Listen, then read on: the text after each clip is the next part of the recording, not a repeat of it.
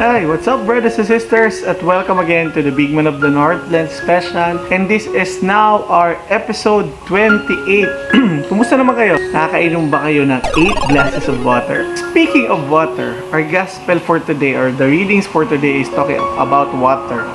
More on about water. Sa first reading natin sinabi doon that nagsimula pa lang siya tapos papatak-patak, unti-unting droplets, and nung dumami siya, it became a river. Siyempre, it became the source of living to those nearby. And it is the same way with our prayers. Ang pag ang mga dasal natin mga kapatid, para lang siyang mga patak-patak. Isang drop, parang droplets lang siya na pag sinama-sama, when we pray as a community, it became bigger. It became like a river. It's it became the source of strength to those nearby. In this crisis, my dear brothers and sisters, our prayer as a community, yun yung nagiging source of strength ng ating mga frontliners. Our prayers as a community is now the source of strength of our families, of those people no nawawala na ng pag-asa. Okay, I really encourage you in this time of crisis, let us join in prayers. Sama-sama tayong nagdarasal